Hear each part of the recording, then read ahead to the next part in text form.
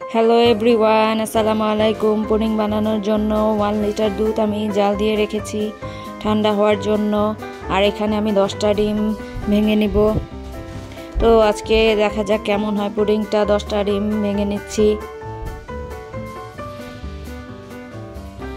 ডিমগুলো আমার রেডি আছে। এখন এটাকে যত সুন্দরভাবে বিট করতে পারবেন, আপনার পুডিংটা তত সুন্দর স্মুথ হবে, সুন্দর হবে দেখতে। তো একটু সময় নিয়ে করতে হয়। আর এখানে আমি আমার পাতিল বসিয়ে দিয়েছি, ক্যারামেলটা বানাবো। এটা একটু ধৈর্য সহকারে করতে হয়, কারণ এখানে চিনি পরিমাণ মতো দিয়ে হালকা পানি দিয়ে দিলাম। চুলাটা মিডিয়াম ফ্লেমে দিয়ে এটাকে অনেকক্ষণ নাড়তে হবে। এটা একদম শিরায় পরিণত হবে, এরপরে এটার কালার আসতে থাকবে, তখন চুলাটা আবার একটু কমিয়ে দিব। আর এখান দিয়ে দুধটা মিক্স করে দিলাম। এখন সময় নিয়ে এটাকে বিট করতে থাকব। আর চিনিটা এখানে দেওয়া লাগবে না, কারণ আমি আগেই দিয়ে দিয়েছি দুধের সাথে চিনিটা। এখানে আপনারা ভ্যানিলা এসেন্স দিয়ে দেবেন পরিমাণ মতো, এটা না থাকলে এক টেবিল চামচ লেবুর রসও দিতে পারেন। ক্যারামেলটা আমার বানানো হয়ে গেছে, এখন এটার সাথে, এটাতে আমি দিয়ে দিব, ছাকনি দিয়ে ছেঁকে দুধ আর ডিমের মিশ্রণটা।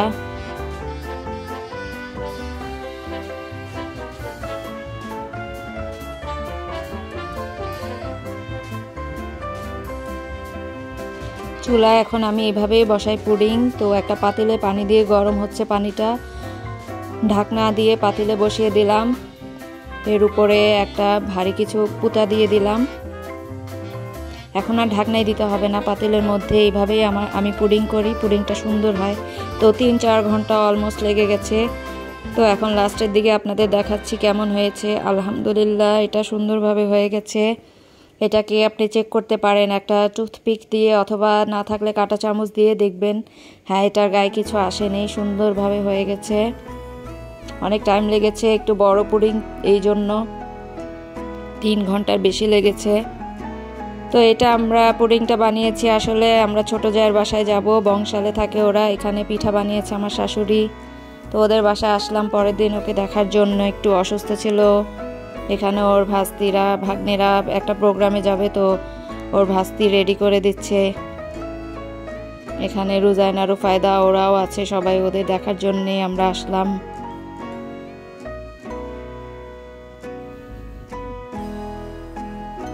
আর এই পিচ্ছি তো মেকআপ দেখলেই ওর মাথা নষ্ট হয়ে যায়। যেখানেই যায় শুধু মেকআপ এই যে আন্টি এখানে দাঁড়িয়ে কথা বলছে, এটা হচ্ছে আমার ছোট জায়ের মা, ও হচ্ছে মেজ বোন, তো ওরা নাস্তা রেডি করছে। আর উনি হচ্ছে নিপার ভাবি।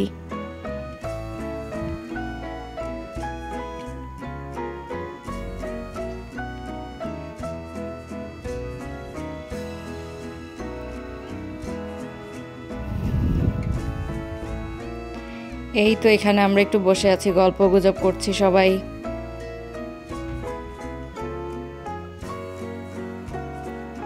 মেয়েকে রেডি করে, এখন মাকে করে দিচ্ছে মাসাল্লাহ খুব সুন্দর মেকআপ করে ওর ভাস্তি।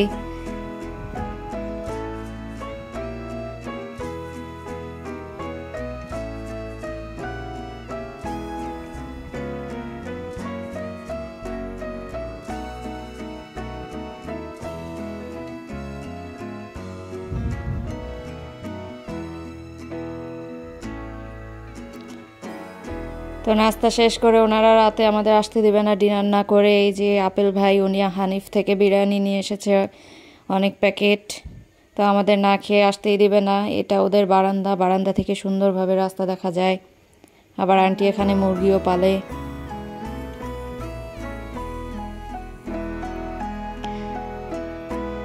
বাসায় ওরা আবার রোস্ট, গরুর মাংস, ডিম, সালাদ সব রেডি করেছে। আবার হানিফের বিরিয়ানির সাথে আমাদের এগুলো আবার খেতে দিয়েছে।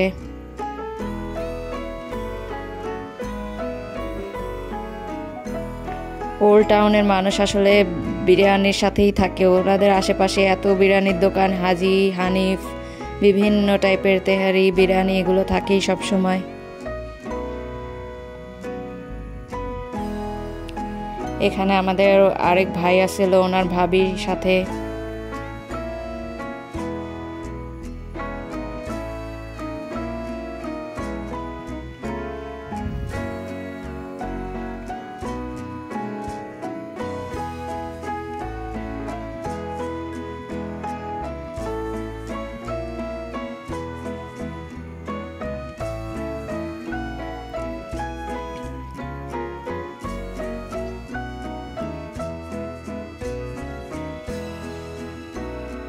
ভাবির হাতের গরুর মাংস আর আন্টির হাতের রোস্ট অনেক মজার ছিল। খাওয়া দাওয়া শেষ করলাম। তো রোজাইনা আমার হাত থেকে নিয়ে বলল, একটু ভিডিও করে দিই, ওর নানির বাসা। তো একটু দুষ্টুমি করে ভিডিও করছে। আমিও বললাম যে, করো, তোমাদের পুরো বাসাটা, তোমার নানুর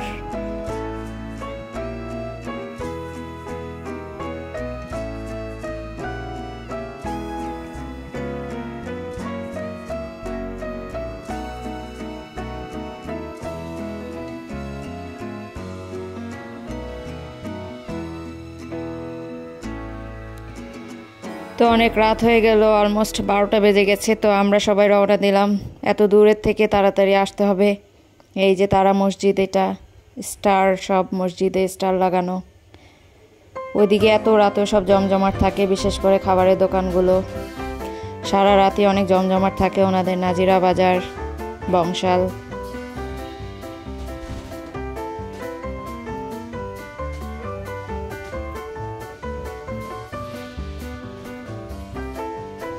এত রাতে নিউ মার্কেটের চেহারা দেখলে বোঝাই যায় না এটা যে সে ব্যস্ত একটা মার্কেট। দেখতে দেখতে চলে আসলাম বাসায়। সবাই ভালো থাকবেন, আল্লাহ হাফেজ।